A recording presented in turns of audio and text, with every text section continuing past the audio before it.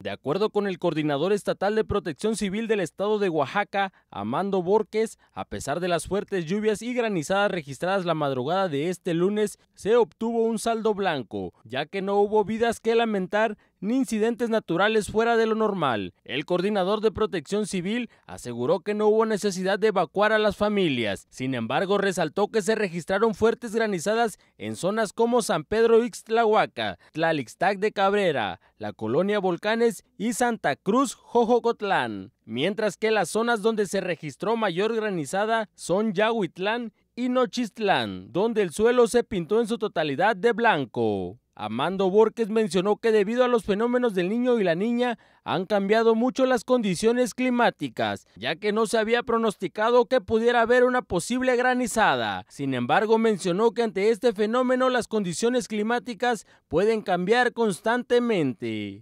Pues tenemos un saldo blanco, la verdad es que, por ejemplo, en la colonia Rufino Tamayo de Jojo hubo algunas inundaciones, pero no hubo necesidad de evacuar nada. Este, entonces, este, eh, estuvo tranquilo. Eh, algunas granizadas, por ejemplo, en San Pedro Istlahuaca, en Tlalistag, eh, aquí parte de la colonia Volcanes, que cayó un poco de granizo, en Jojo, pero lo más fuerte fue en Yanguitlán y Nochistlán, ahí sí se ve blanco, pero tampoco sin mayores problemas.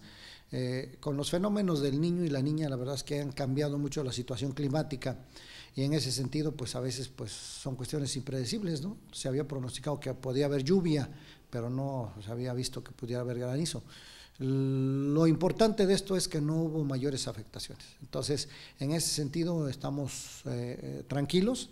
Eh, lo que necesitamos es lluvia, la verdad, porque estamos pasando por una sequía bastante severa.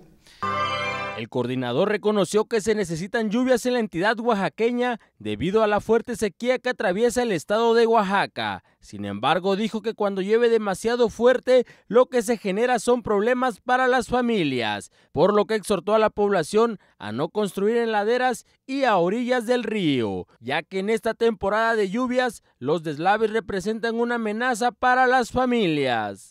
Las recomendaciones que nosotros hacemos como protección civil, decirles no construyan en las riberas de los ríos, no construyan en arroyos o en cañadas, eh, no se vayan a vivir a laderas donde es un peligro los deslaves, los desastres que se pueden venir.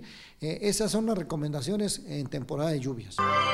Con imágenes de Pablo Cruz para MBM Televisión, Rafael Ventura.